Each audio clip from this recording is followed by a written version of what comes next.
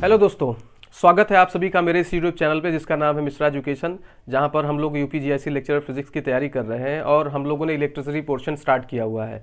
Electricity portion में हमने काफ़ी टॉपिक कवर कर लिया है, जिसके वीडियोस आपको लिंक्स में मिल जाएँगे, आप वहाँ जाके उन वीडियोज़ को भी देखें और उस पर हमने ऑर्गेनाइज टेस्ट भी ऑर्गेनाइज किया। हर संडे हम टॉपिक टेस्ट भी लेते हैं। जो भी टॉपिक कवर होता है, उसका हर संडे टेस्ट होता है, जिससे आपको पता लगता है कि हम कहाँ स्टैंड करते हैं। साथ ही साथ हम किसी भी टॉपिक से रिलेटेड प्रीवियस ईयर के लेवल के क्वेश्चंस भी देते हैं, ताकि आप अपने आप को प्रैक्टिस करके स्ट्रांग बना लें। तो यहाँ पर आपको वीडियोस मिलेंगी और जो आपके कंटेंट्स होंगे, यानी स्टडी मटेरियल होंगे या क्वेश्चंस होंगे या आपके टेस्ट होंगे, वो हमारे टेलीग्राम ग्रुप के थ्रू मिलेगा, जिसे आप नीचे दिए गए लिंक से फॉलो कर सकते हैं। तो आप एक बार अगर आप इस वीडियो को पहली बार देख रहे हैं, इस चैनल को पहली बार देख रहे हैं तो मेरा आपसे रिक्वेस्ट है कि आप पहले की वीडियोस देखें। अगर अगर आपको पसंद आता है तो वीडियोस को लाइक करें और चैनल को सब्सक्राइब करें। साथ ही साथ बेल आइकन को भी प्रेस करें, ताकि वीडियो को अपडेट आप सबसे देख, पहले देख पाएँ। साथ ही साथ मैं आपको यहाँ बताना चाहूँगा कि ये इलेक्ट्रिसिटी पोर्शन कंप्लीट होने के बाद मैं, लोगों ने मेरे से रिक्वेस्ट किया कि मैकेनिक्स पोर्शन स्टार्ट किया जाए तो ज़रूर मैं मैकेनिक्स पोर्शन करना चाहूँगा। लेकिन फ़िलहाल ये इलेक्ट्रिसिटी पोर्शन करते हुए हम आगे बढ़ेंगे। और जो आप देखेंगे प्रीवियस ईयर क्वेश्चंस में, इसमें क्वेश्चंस काफ़ी बनते हैं। और ये काफ़ी अच्छा इंटरेस्टिंग टॉपिक होता है और जल्दी हो जाता है। इस वजह से मैंने इसको शुरू किया। और मैकेनिक्स में क्या है? मैकेनिक्स में आपको हर एक पॉइंट को एनालाइज करने की ज़रूरत पड़ती है। आपको हर एक पॉइंट पे ध्यान देने की ज़रूरत होती है। साथ ही साथ अगर हम बहुत पहले कर लेंगे और एग्ज़ाम टाइम में जब हम रिवीजन करेंगे तो हमें कन्फ्यूज़न क्रिएट होने लगता है। तो मैंने एक स्ट्रेटजी ये बनाया कि हम मैकेनिक्स को उस समय करें जब हमें ज़रूरत बस जस्ट जाने वाले हों या कुछ दिन पहले, ताकि हमारी चीज़ें एकदम फ्रेश रहे और एग्ज़ाम में जाके हम अच्छा परफॉर्म करें। तो चलिए आज वीडियो की शुरुआत करते हैं। इस पहले वीडियो इससे पहले की जो वीडियोस में हमने बात की थी, वो बात की थी बायो शावटला और इसके एप्लीकेशन के बारे में। एप्लीकेशन में हम लोगों ने किया था पहले तो straight conduct straight current carrying wire एक हमने इनफाइनाइट वायर लिया जिसमें आई करंट फ्लो कराई। और उसकी वजह से हमने मैग्नेटिक फ़ील्ड कैलकुलेट की। इसके आप वीडियोस पहले देख सकते हैं। फिर हम लोगों ने करंट कैरिंग लूप लिया, एक लूप लिया जिसमें करंट फ्लो कराया और उसके एक्सियल यानी अक्षीय बिंदु पर हमने क्या किया? मैग्नेटिक फ़ील्ड निकाला। तो ये बातें हो चुकी है। अब आगे चलते हैं और अब बायो शावटला के एप्लीकेशन में एक और एप्लीकेशन बड़ा फ्रिक्वेंटली पूछा जाता है वो है सोलेनाइट का। तो सोलेनाइट का मैग्नेटिक फ़ील्ड हम लोग निकाल सकते हैं using the Biot Savart law as well as using Ampere's law. हम यहाँ पे दोनों करेंगे क्योंकि मेंस की भी बातें कुछ हम लोग यहाँ पर मान के चलते हैं कि हम अपने आप को मेंस में अगर देख रहे हैं तो हमें ये डेरिवेशन देखने को मिल सकता है जहाँ पे आपको रिटर्न एग्ज़ाम देना पड़ेगा। तो आप इसको इस, इस डेरिवेशन को भी देखें। आगे चल के हम जब क्या करेंगे? एम्पियर्स लॉ का भी यूज़ करके सोलेनाइट की वजह से मैग्नेटिक फ़ील्ड निकालेंगे, उसको भी ज़रूर देखिएगा। वो थोड़ा आसान पड़ता है, ये थोड़ा आपको लेंदी पड़ता है, बट आप दोनों को दोनों के लिए तैयार रहिए, क्योंकि आपको मेंस में फेस करने को मिलेगा। तो चलिए शुरू करते हैं, आज के टॉपिक का शुरुआत करते हैं, और वो होगा magnetic field due to solenoid. तो पहले हम लोग सोलेनाइड जानने की कोशिश करें। तो सबसे पहले जैसा मैंने बोला कि आपको सोलेनाइड जानने की ज़रूरत है, सोलेनाइड क्या होता है?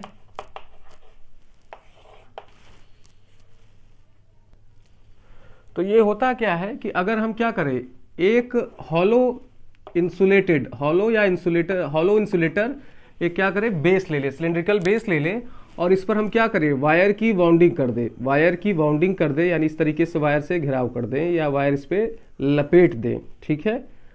वायर के मटेरियल्स यूजुअली कॉपर के होते हैं एल्युमिनियम के होते हैं।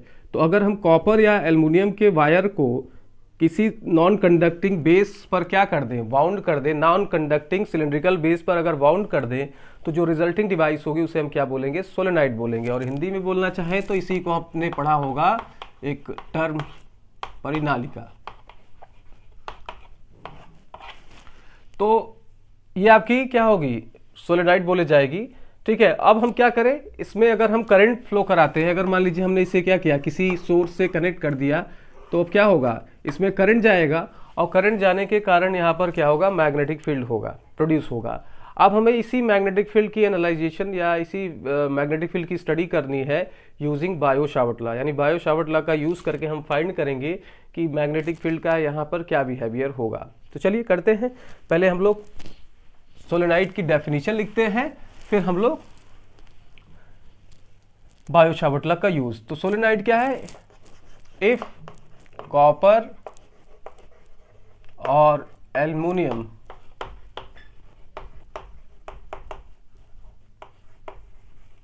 wire is wound over, is wound over a cylindrical cylindrical non-conducting base.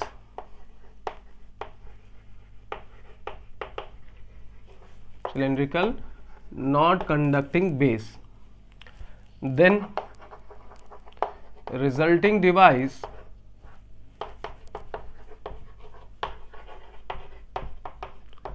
resulting device is called solenoid यानी हम क्या करें? हिंदी मीडियम के स्टूडेंट्स मतलब एस्पेरेंट लिख सकते हैं कि अगर हम किसी बेलनाकार अचालक पर या कुचालक पर एल्युमिनियम अथवा कॉपर के वायर को या तार को लपेट दे तो जो डिवाइस बनेगी, जो आपकी यंत्र बनेगी, जो आपकी रिजल्टिंग डिवाइस होगी, उसको हम क्या बोलेंगे? सोलेनाइड बोलेंगे। चलिए, ये बात हमको समझ में आई। अब हम क्या करेंगे? इसमें करंट फ्लो कराएँगे। और मैग्नेटिक फ़ील्ड फाइंड करने की कोशिश करेंगे। ठीक है? तो अब नेक्स्ट टॉपिक जो हमारा है magnetic field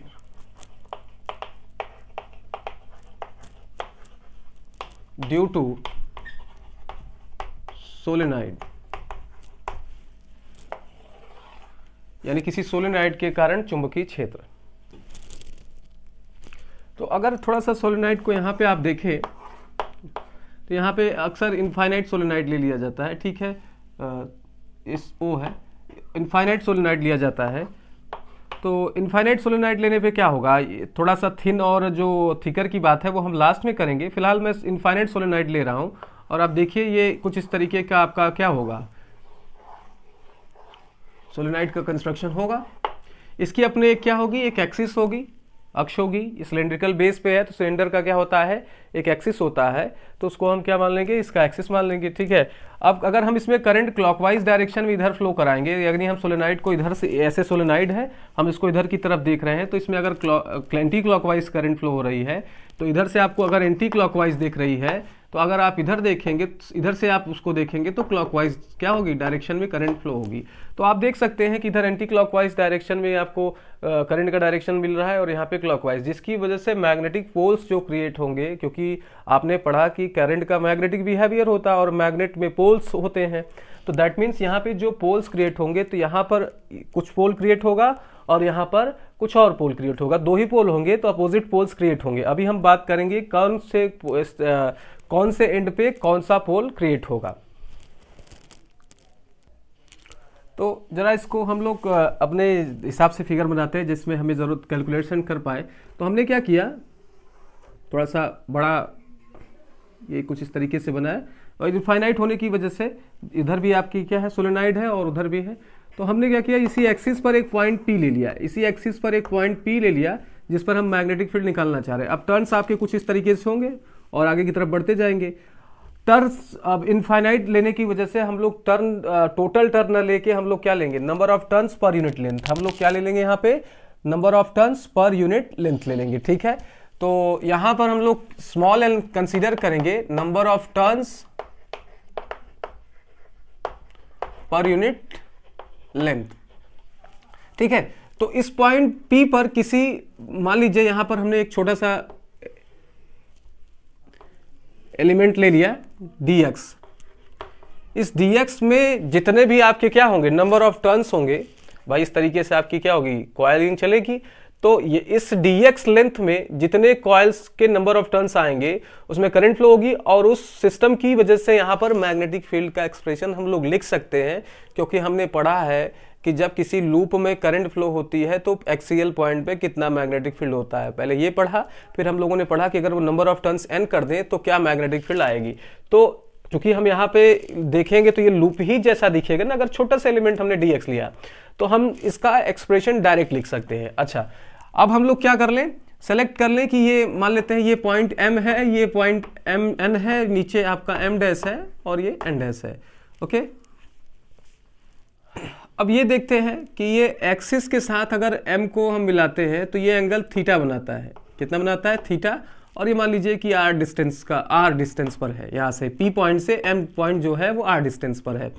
और ये डी एक्स लेंथ आपका डी एक्स लेंथ के बाद आपका एक एन पॉइंट है, जो कुछ इस तरीके से यहाँ पे एंगल बना रहा है। वो एंगल बना रहा है डी थीटा और ठीक है? अब इन दोनों पॉइंट्स के बीच में और पी पॉइंट के बीच में, यानी एम और पी के बीच का डिस्टेंस और एन और पी के बीच का डिस्टेंस में बहुत माइनर सा फ़र्क है है ज़रूर और वो कितना होगा वो उसको निकालने के लिए आपको डालना पड़ेगा यहाँ पर परपेंडिकुलर तो ये जो एक्स्ट्रा डिस्टेंस आपको दिख रही है वो आपके M N that means M P और एम एन के एम uh, पी और एन पी के बीच का डिस्टेंस होगा. मतलब एक्स्ट्रा डिस्टेंस जो आपका है इनके बीच का जो डिफरेंस है वो आपका यही होगा। तो इसको आप क्या कर लीजिए क्यू नाम दे दीजिए। तो यहाँ पे क्यू एम जो होगा, वो एक्स्ट्रा डिस्टेंस होगा। याद रखिएगा एक्स्ट्रा डिस्टेंस मतलब दोनों के डिस्टेंस का डिफरेंस चलिए बात हमको समझ में आ गई। फिगर समझ में आ जाएगा तो कैलकुलेशन आसान है।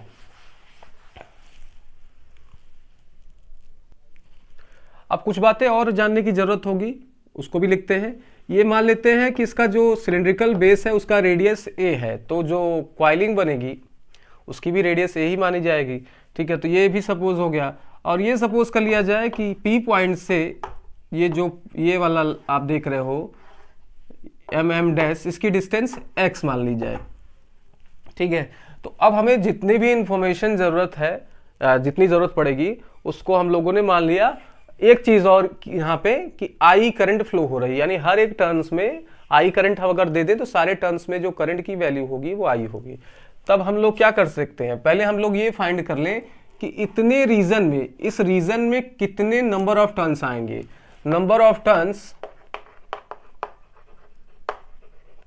in D X length अब हमें पता है कि स्मॉल एन क्या है हमारा? Number of turns per unit length तो अगर हम डिस्टेंस से मल्टीप्लाई कर देंगे तो हमें पता लग जाएगा कि इस रीजन में कितने नंबर ऑफ़ टर्न्स आने वाले हैं। तो वो आ जाएँगे आपके एन इंटू डी एक्स आ जाएगा। इसे इक्वेशन वन दे दिया जाए। अब हमें पता है कि अगर किसी लूप की वजह से हमें मैग्नेटिक फ़ील्ड निकालना हो तो उसका क्या एक्सप्रेशन होगा? ये क्लास में पिछले वीडियो में जस्ट पिछले इसके वीडियो में किया जा चुका है। आप वहाँ जाके इसको देखें। तो magnetic field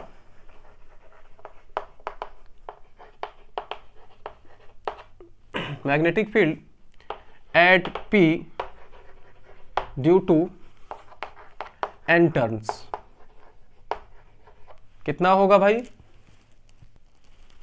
आ जाएगा आपका डी बी चूँकि ये स्मॉल है स्मॉल एलिमेंट है तो mu naught N mu naught N I A square upon two A square plus X square power three by two ये आपका पिछले वीडियो में किया जा चुका है, वहाँ पर रेडियस आपने आर सपोज़ किया होगा तो आर आया होगा।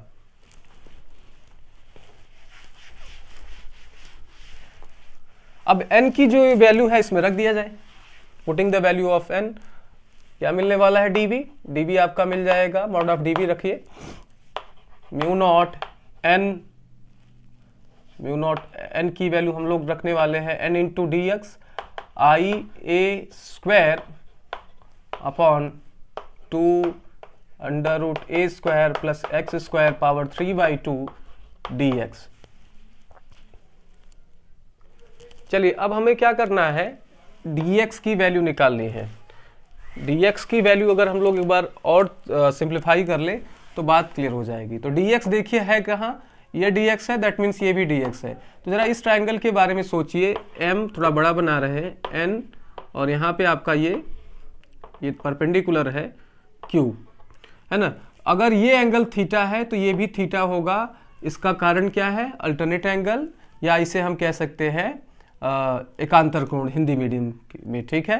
तो आप देख सकते हैं कि ये यहाँ पर आ रहा है और कुछ इस तरीके से बन रहा है, ठीक है? तो जहाँ भी आपको ऐसा z दिखे तो आप क्या कर सकते हैं उसे एकांतर कोण यानी अल्टरनेट एंगल बना सकते हैं। या इसका अपोजिट आपको दिखे। आप यहाँ पे भी क्या कर सकते हैं? अल्टरनेट एंगल सपोज़ कर सकते हैं। तो जरा हम अपने वाले में आते हैं, जहाँ हमें ज़रूरत है। ये कुछ इस तरीके से है, ये एम है, ये एन है, ये क्यू है। और इस हिसाब से जब हमने बात किया तो ये एंगल थीटा हो जाएगा। तो अगर ट्राइंगल एम एन क्यू में बात करें तो साइन थीटा क्या देने वाला है? साइन थीटा आपका सिंपल ये आपका थीटा के सामने जो साइड होगा उसे हम सपोज़ कर लेते हैं क्या?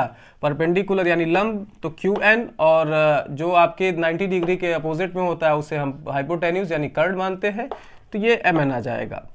हमें निकालना ये है एम एन यानी डी एक्स तो एक्स को हम लोग यहाँ ट्रांसफ़र कर दे दैट मीन्स एम को यहाँ ट्रांसफ़र कर दे Q N upon sine theta okay अब नेक्स्ट काम हम लोग क्या कर लें? इस Q1 की वैल्यू निकाल लें। Q1 की वैल्यू कैसे निकालेंगे? जरा देखिए। अब ये जरा देखिए, ये क्या है आपके? दो कुछ इस तरीके से आपके लाइन है, जो डी थीटा एंगल पर है। आप इसको आर दोनों को सपोज़ कर सकते हो, क्योंकि ये बहुत इनफाइनाइटेसिमल बहुत सूच अति सूक्ष्म दूरी ली जाती है। तो दोनों की दूरियाँ हम लोग क्या कर सकते हैं? आर ही सपोज़ कर सकते हैं।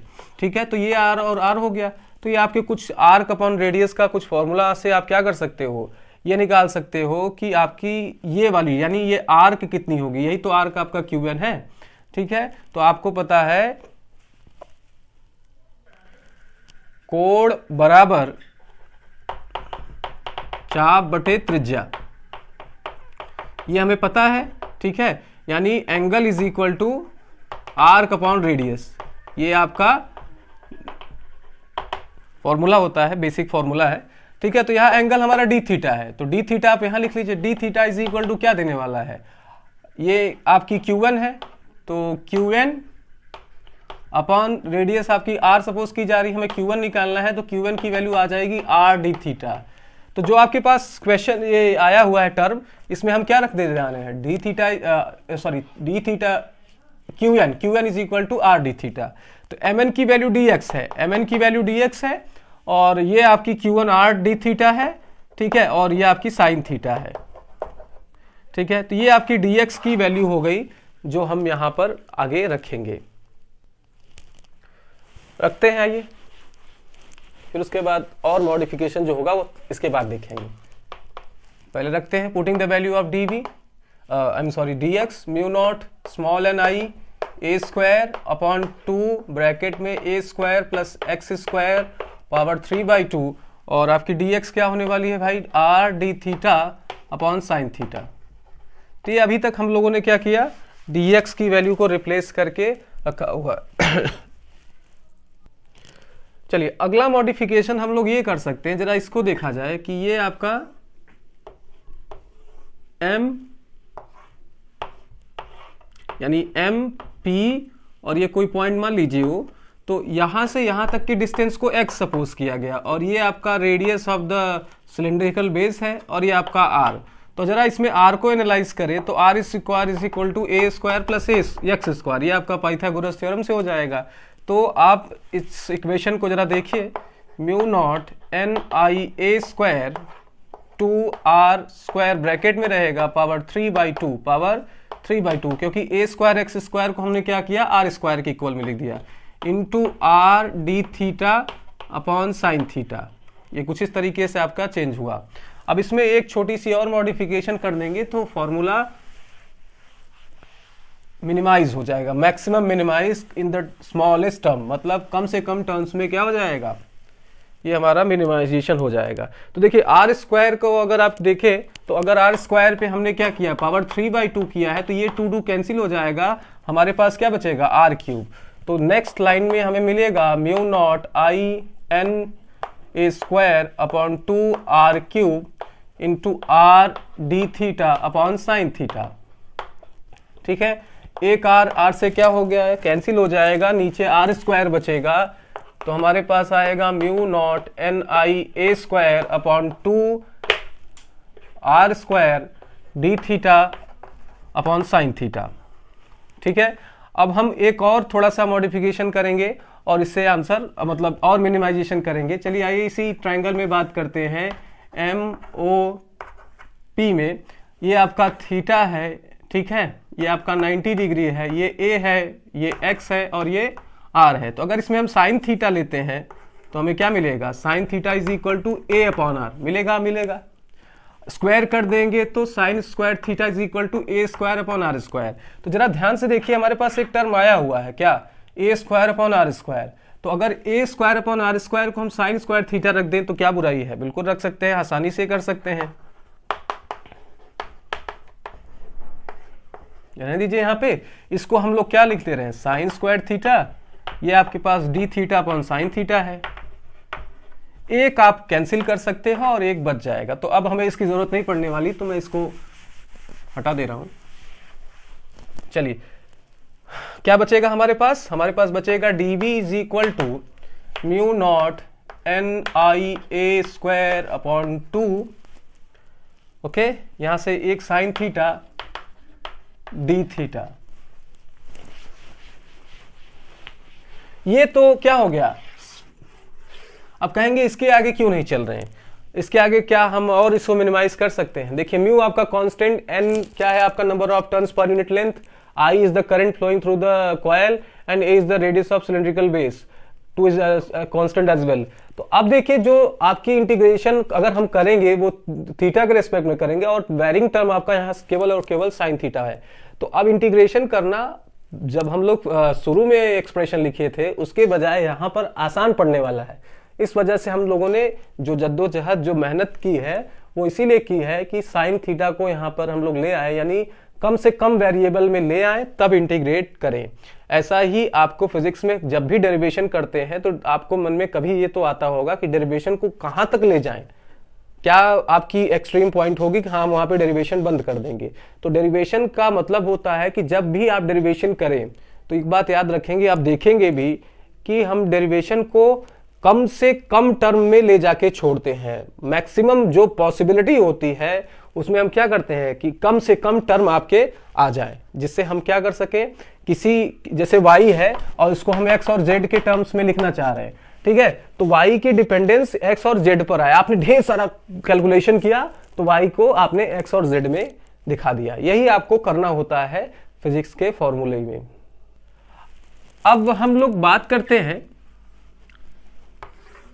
एंगल की बारे में मतलब इसका इंटीग्रेशन कहाँ से कहाँ तक करेंगे? आपने पी पॉइंट लिया तो पी पॉइंट में आपने ये क्या कर रहे हैं? एक आप इधर एक तरफ़ एंगल ले लीजिए, एक इधर की तरफ़ एंगल लीजिए तो एक अल्फ़ा ले लीजिए और दूसरा एंगल आप क्या ले लीजिए? बीटा ले लीजिए, ठीक है? तो इधर के एंगल्स को आप अल्फ़ा ले लीजिए, इधर के एंगल्स को आप बीटा ले लीजिए, किसी भी एक रेफरेंस पॉइंट के अकॉर्डिंग तो इसको हम इंटीग्रेट कर देंगे अल्फ़ा बीटा से, ठीक है? यानी इनिशियल हमारा जो इंटीग्रेशन होगा अल्फ़ा टू बीटा होगा। लोअर लिमिट अल्फ़ा और अपर लिमिट बीटा तो ठीक है integrating above equation in the limits of alpha and beta तो आप क्या करेंगे? नेट मैग्नेटिक फ़ील्ड के लिए हमें इंटीग्रेट करना होगा अल्फ़ा टू बीटा और आप जब देखिए इंटीग्रेट करेंगे तो ये पूरा पूरा टर्म क्या होगा? कॉन्स्टेंट होगा, बाहर आ जाएगा. Mu naught N I A square upon two bracket में क्या बचेगा? Sine theta D theta alpha to beta और इंटीग्रेशन आप करेंगे तो साइन थीटा का इंटीग्रेशन माइनस कॉस थीटा होगा.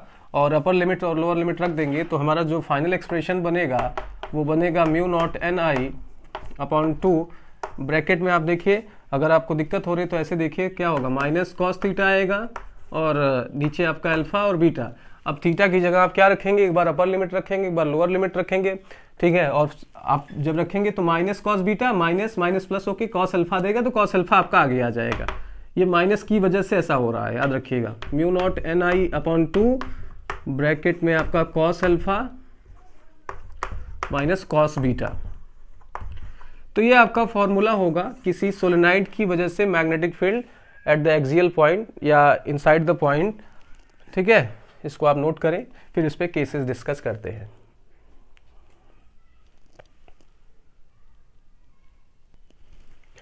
अब बात करते हैं अलग अलग केसेस के बारे में, और पहले बात करेंगे कि सोलेनाइड बहुत लंबा हो मतलब लॉन्ग सोलेनाइड हो इनफाइनेटली लॉन्ग हो, या बहुत सोलेनाइड बहुत थीन हो, दोनों बातें एक ही होंगी। कैसे एक होगी, ये पहले की वीडियोस में बताया जा चुका है। अगर आप किसी चीज़ को क्या करें, दूर से देखें तो आपको छोटा दिखेगा, या आप उसको क्या करें, वास्तव में वो छोटा तो दोनों बातें एक ही बात को इम्प्लाई करती हैं।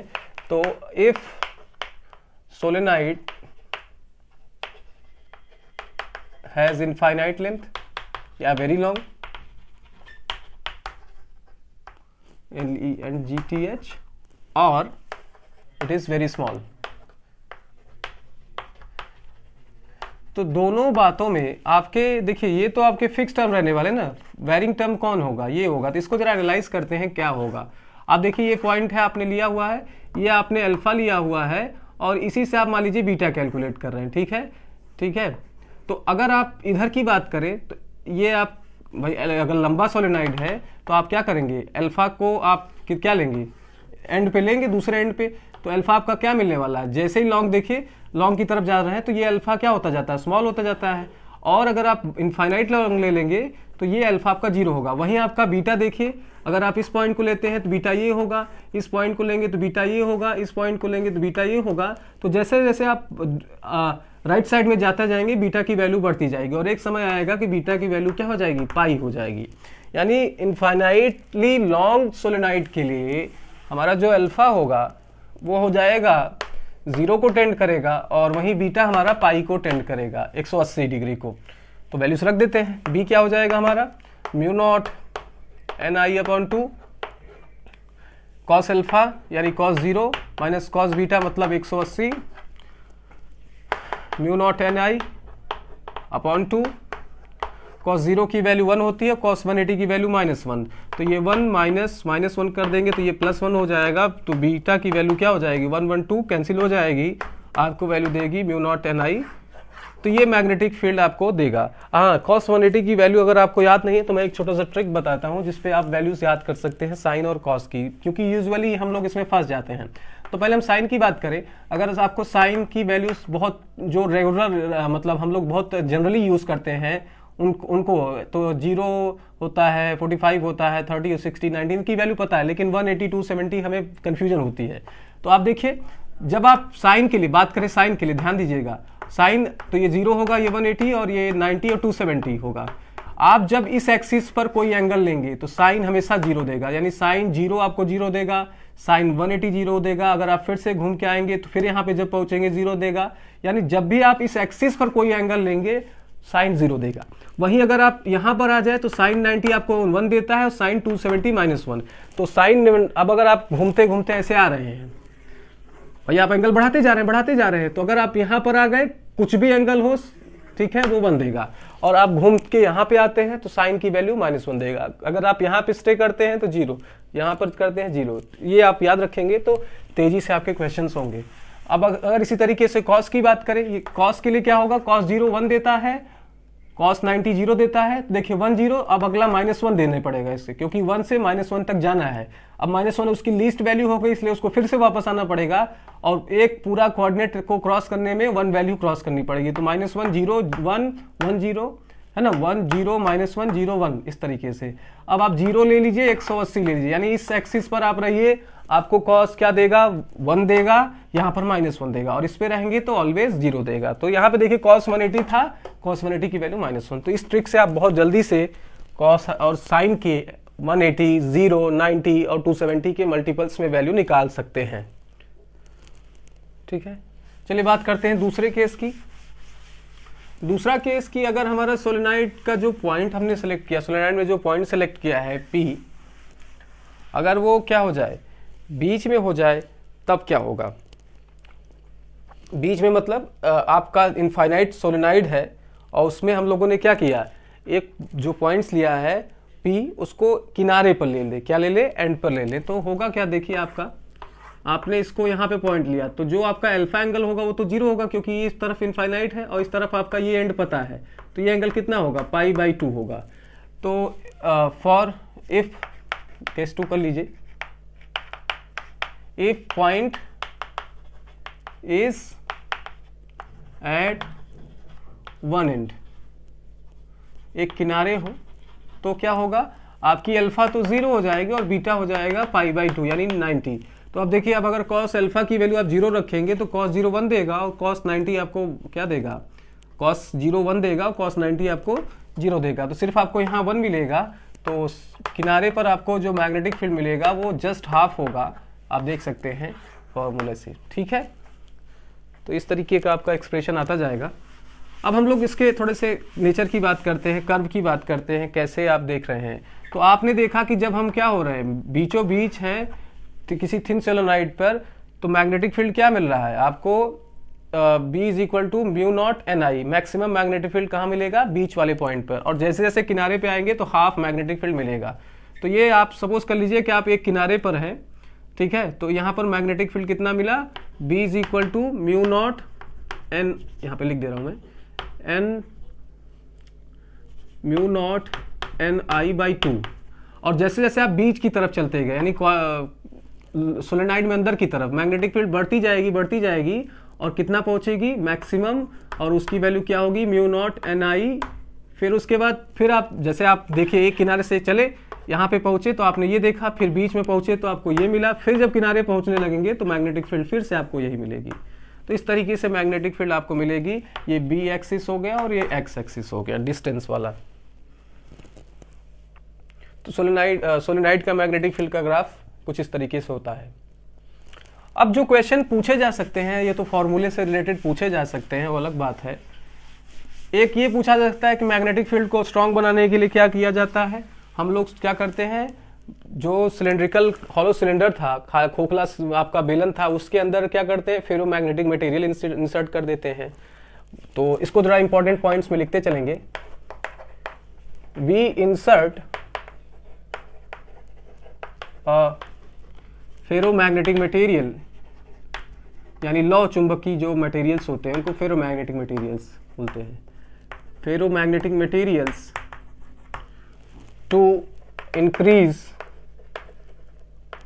the magnetic field due to solenoid solenoid में मैग्नेटिक फ़ील्ड को बढ़ाने के लिए हम लोग क्या करते हैं? फेरोमैग्नेटिक मटेरियल रखते हैं। क्योंकि फेरोमैग्नेटिक मटेरियल्स क्या करता है? आसपास की मैग्नेटिक फ़ील्ड लाइंस को अलाउ करता है कि वो उसके थ्रू होके जाए। तो इस वजह से आपको मैग्नेटिक फ़ील्ड स्ट्रॉन्गर मिलने लगेगी।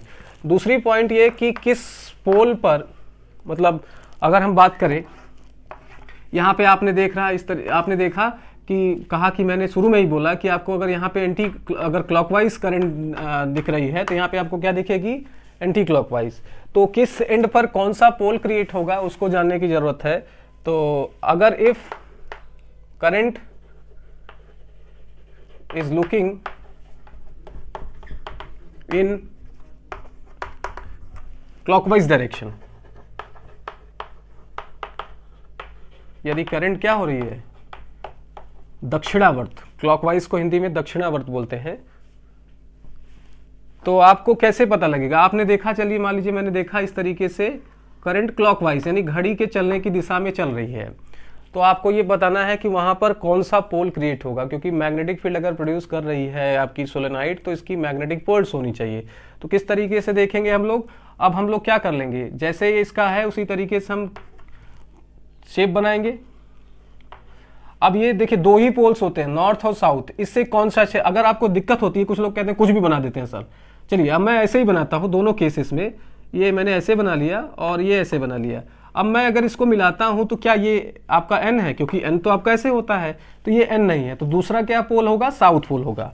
ठीक है? तो यहाँ पर आपका साउथ पोल क्रिएट होगा। जब आपको करंट क्या होगी, किसी एंड में क्लॉकवाइज डायरेक्शन में दिखेगी तो वहाँ पर आप जान लीजिए कि साउथ पोल जैसा वो काम करेगा।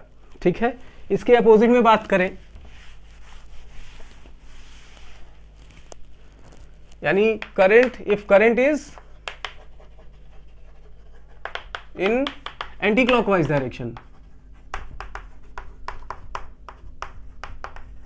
anti clockwise direction तब क्या होगा? आप देखिए, यहाँ पे मैंने लिया और, ये मैंने कुछ इस तरीके से करा है। तो एक, मैं इधर से ले लेता हूँ, एक विक्टर टाइप का और एक, इधर से ले लेता हूँ, इस तरीके से, मान लीजिए। अब इन दोनों को मिलाने का क्या चांस है? यही है ना? अब ये आपका कैसा दिख रहा है? एन जैसा दिख रहा है ना? तो यहाँ पर आपको क्या होगा? नॉर्थ पोल मिलेगा। यानी करंट आपका क्या हो? अगर एंटी क्लॉकवाइज डायरेक्शन में किसी टर्न पर आपको दिख रहा है तो वो आपका नॉर्थ पोल जैसा सोलेनाइड में एक्ट करेगा। तो इस तरीके से आप जान सकते हैं कि कहाँ पर कौन सा पोल क्रिएट होगा। ये आपसे पूछा जा सकता है, इस वजह से इस पर थोड़ा ध्यान दीजिएगा। चलिए, आगे चलते हैं, कुछ और बातें करते हैं इस पर अब बात करते हैं अगर हमारा सोलेनाइड बहुत क्या हो, थिन या लंबा हो या बहुत लॉन्ग हो तो आपको अंदर जो मैग्नेटिक फ़ील्ड मिलेगी, वो यूनिफॉर्म मिलेगी। क्या मिलेगी? यूनिफॉर्म मिलेगी। और जस्ट बगल में आपको मैग्नेटिक फ़ील्ड ज़ीरो मिलेगी। लेकिन अगर आपकी सोलेनाइट क्या है थोड़ी सी एक फाइनाइट लेंथ की है या उसकी जो साइज़ है वो थोड़ी मोटी है तो आपको किनारे पे बहुत ही माइनर मैग्नेटिक फ़ील्ड मिलेगा। और थोड़ी दूर चले जाएँगे तो ज़ीरो मिलेगा। इस बात का आप याद रखेंगे। ठीक है? किनारे पे आपको मिलेगा और सॉरी किनारे पे आपको जस्ट नहीं मिलेगा, थोड़ा दूर जाने पे बहुत ही माइनर मैग्नेटिक फ़ील्ड मिलेगी। लेकिन आपसे पूछेगा थिन के लिए। इफ़ थिन और very long solenoid is given ठीक है? तो आप ऐसा कर लीजिए कि बी आपका इनसाइड क्या होगा? यूनिफॉर्म होगा। और किनारों पर मैग्नेटिक फ़ील्ड आपको ज़ीरो मिलेगा। यानी अगर आपको सोलेनाइड कुछ इस तरीके से दे दिया जाए, कुछ इस तरीके से दे दिया जाए तो इनसाइड में आपको मैग्नेटिक फ़ील्ड यूनिफॉर्म मिलने वाली है और किनारे पर मैग्नेटिक फ़ील्ड ज़ीरो मिलने वाली है। सारी बातें तो हो गई, लेकिन अभी हम लोग ये नहीं जान पाए कि मैग्नेटिक फ़ील्ड का डायरेक्शन कैसे निकालेंगे सोलेनाइड में। तो हम लोग यूज़ करेंगे राइट हैंड कर्ल का। यानी राइट हैंड को हम क्या करेंगे? करंट के डायरेक्शन में कर्ल करेंगे और जो थंब एक्सप्रेस करेगा, वो क्या एक्सप्रेस करेगा? Magnetic field to find the direction of magnetic field due to solenoid solenoid we will use we will use right hand parallel rule. C U R कर लो। ठीक है? इसे ग्रैप्स ग्रैस्प रूल भी कहते हैं। यानी अगर आपको कुछ इस तरीके से सोलिनाइट दिया है, अरे सही से बनाया जाए, नहीं तो आपको कन्फ्यूज़न होगी। कुछ इस तरीके से। ठीक है?